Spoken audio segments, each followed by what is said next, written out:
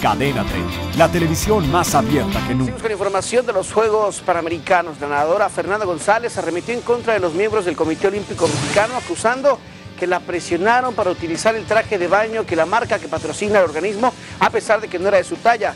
González dijo que fue detenida en la Villa Panamericana y acusó a Carlos Padilla Becerra, presidente del COM, y a Mario García, jefe de misión. Además sentenció que no dejará que vuelva a suceder y que no utilizará el traje impuesto por el organismo.